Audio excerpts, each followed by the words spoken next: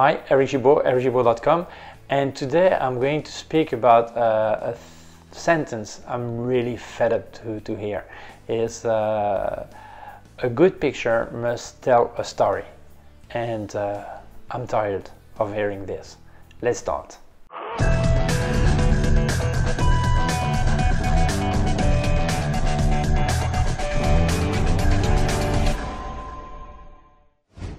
Every day we hear this. Oh, a good picture must tell a story. No, not every picture needs to tell a story. This sentence was made for journalist photography or social photography, but not for everything. So I hear a lot of people for anything say, oh, a good picture must tell a story. Uh, today on Facebook, there's a guy who, who uh, uploaded, uh, published a picture uh, of uh, uh, a wire with a connector, RJ45 uh, connector for network. And uh, someone said, you shouldn't do that kind of pictures because a good picture must tell a story and an RJ45 connector will never say anything, never tell any story. So so we stopped making uh, uh, product photography, we stop making many landscape photography, many uh, portrait photography doesn't tell any story. It can be a fantastic picture, picture, but it doesn't tell any story. So we stop doing this just because it doesn't tell a story. This is really, really, really stupid. So if we go back into uh, paint, painting instead of instead of photography, we speak about painting. And we're going to speak about Mona Lisa by uh, Leonardo da Vinci. I think it's about 500 years old, and for over 500 years, we've been hearing every month, or every week, or every two months, a new theory that she was his daughter, uh, she was uh, his wife, she was uh, his neighbor, she was uh, his slave. Uh, she was uh, she actually she was a, a, boy and not a, and not a girl, and she was a new theory every month. So honestly, if you think the Mona Lisa was telling a story, how come we don't know yet what story it is? Obviously, it doesn't tell any story. It maybe helps us imagine a story, doesn't tell any story.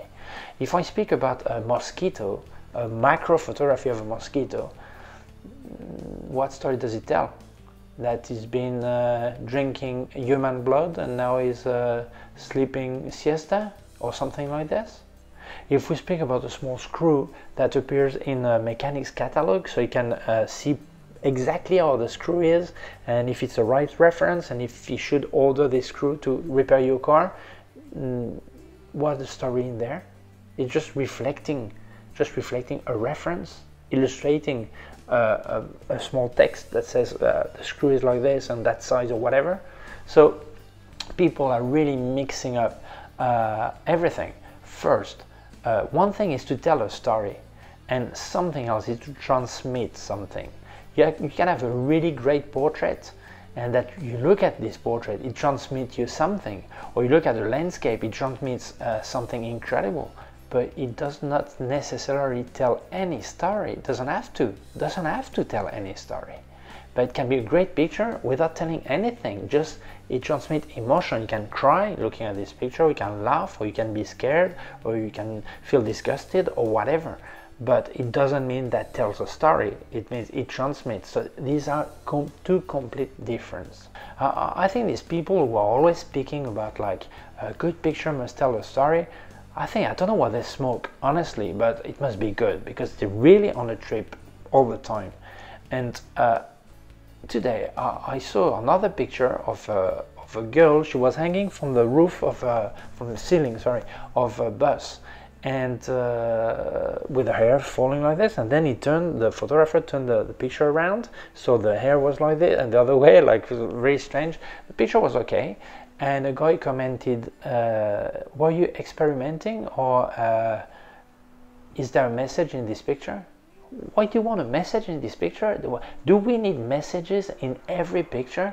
Do we need some subliminal uh, sentence or, or thought uh, included in every picture? Of course not. A picture must be can be wonderful, can be really transmit something, or technically or emotionally, whatever, and without telling any story. It doesn't need to tell a story. And if we go back to documentary photography, um, my question is mm, if this picture tell a story by themselves why do they have a title? Why do they write a small sentence that describes what we're saying? If it was telling a story by itself you don't need any title you don't need any sentence you don't need any explanation. You look at the picture and you know what it is. And what happens is most of the time when you take any picture you show it to someone and say what this picture tells you tells you his story and then another one different story another one different story and 10 people 10 stories. So if you take another picture and you show to uh, 100 persons and they all see the same story this picture yes was telling a story. The other didn't tell any story. They just help you make up your story. But doesn't tell you any story. Obviously, if every picture was telling a story, there would be no title, no sentence, no explanation. It would tell by itself. So if your uh, goal in photography is to uh, tell story with a picture, first you must think that normally uh, this series of picture they go along with a text with an article or in a book and they just illustrate the text so obviously it is hard to uh, have the right picture that illustrates properly the story. That's not easy. But it doesn't mean these pictures speak by themselves. If you look at the picture of Salgado, uh, Sebastian Salgado, they are wonderful pictures.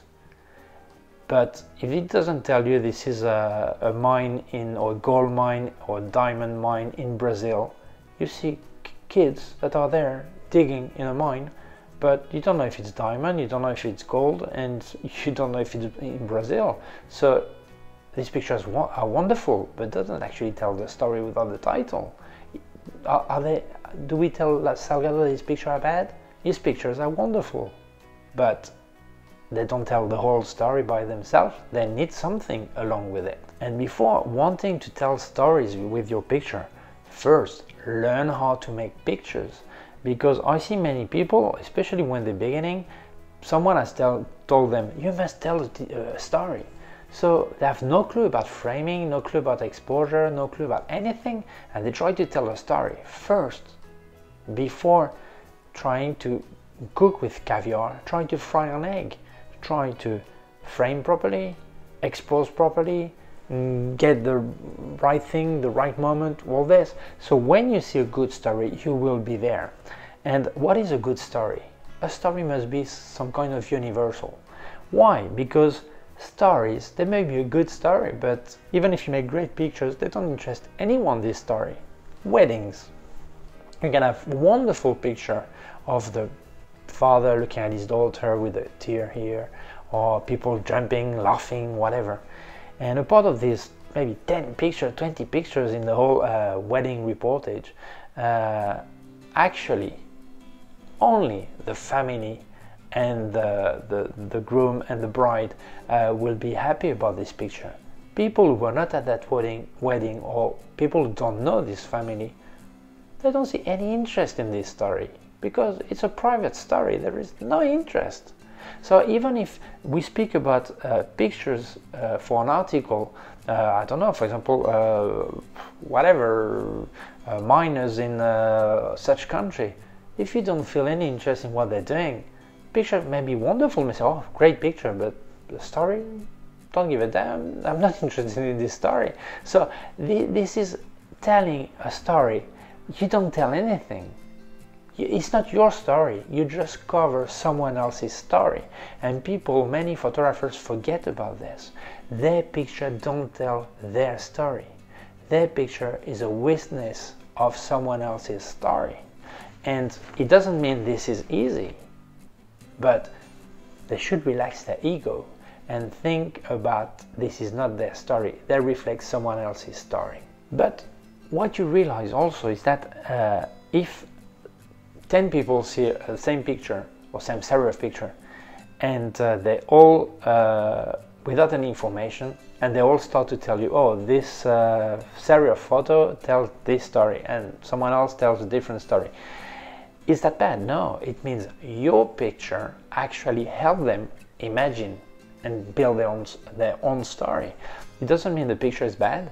Actually it means they did transmit some emotion or something that made them think about your picture and imagine. Like you see this uh, couple uh, on, on the train station and you see the picture and you think whoa have they just met after traveling or uh, they just uh, is going away and uh, she's staying or the other way around or or they go together to get the train or just they've just stepped out of the train? And you build your own story.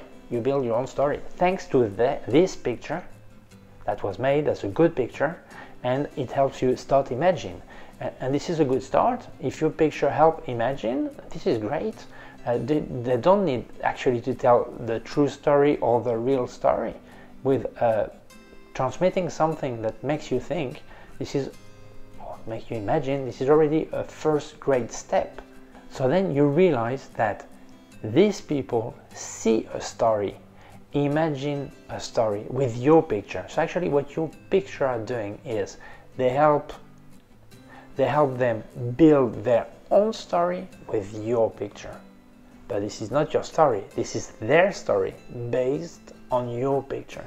And this is something great.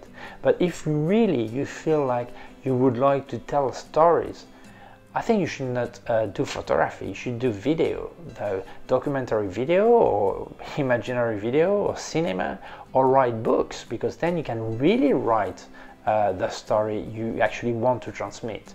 And uh, the typical sentence that says a picture is worth a thousand words it's not true. It may be true, but it's not always true. If I call a, computer engineer and I say, I've got a problem with my computer, maybe I try to explain, he says, nah, make a picture of your screen and uh, send it to me. Then he looks at the picture, say, yeah, yeah, this is wrong, this is this, and then he fixes it without me explaining more. And just tell me do that, do that, and that's fixed. But can you imagine with one picture of a person coming out of a hospital, and that picture would say, uh, this guy uh, just come out of the hospital. Actually, three months ago, he fell, he broke his leg, uh, he got uh, infected, he had to cut it, and he was three months in hospital and today is coming out.